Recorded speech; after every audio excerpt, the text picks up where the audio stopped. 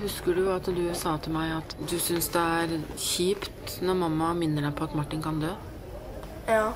Jeg tenker ofte på det om kvelden.